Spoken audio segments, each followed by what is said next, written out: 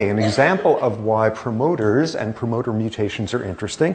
Later on the course, we are going to hear about one of the all-time interesting differences that you can have in one of your promoters if you happen to be a vole, and increasingly it's turning out equally interesting if you happen to be a human. This is a promoter upstream of a gene having to do with the hormone vasopressin. Do not panic or care if you haven't heard of this yet, but you will have in more detail within a few weeks vasopressin is this hormone which has something or other to do with social affiliative behavior in males and all sorts of interesting stuff with that. And naturally, it being a hormone out there is a vasopressin receptor, and thus there's a vasopressin receptor gene.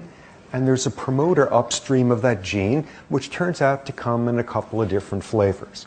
And you look at voles, which are little hamster thingy sort of things. And there's all sorts of different vole species, and there's ones in the mountains, and there's ones in the plains, and there's ones in the, you know, from California to the New York Islands, and there's all these different species. And it happens, some of them happen to be monogamous.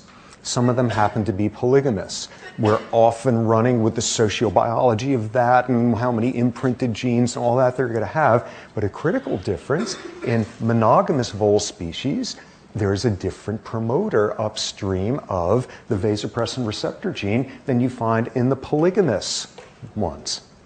And go and mess around with them, use gene therapy techniques to change the promoter to modify it and you could convert a polygamous male vole into a resoundingly monogamous one. And I don't know if this counts as gene therapy, like curing a disease, or just gene transfer sort of stuff, but what you've got here is change your promoter and you suddenly have a different pattern of expression, which parts of the brain it winds up in. Suddenly you have made a major shift in behavior. You're not causing a change in a gene, you're causing a change in its promoter. You've just changed a major if then clause. Another example of it, there's a gene that codes for a hormone neurotransmitter that has something to do with pain perception called dynorphin. It's broadly related to things like morphine and such. And it's got a dynorphin gene that's a little more complicated than that, but there's a promoter upstream. And recent research is showing that the number of copies of that promoter in different rats predicts something about how readily they become addicted to various drugs. And that winds up being pertinent. Oh, back for a second, back to the vasopressin gene and the vasopressin reporter gene and its promoter.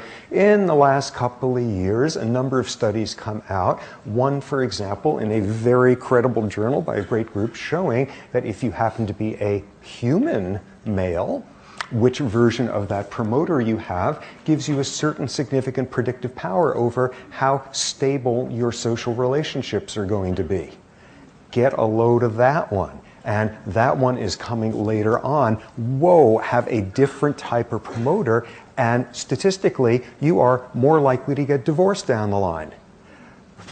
Okay, back to that first lecture, free will stuff. There is so much more to come along those lines. We will look at the vasopressin system much more in the sex lectures. But again, that's not a difference in a gene, that's a difference in a promoter.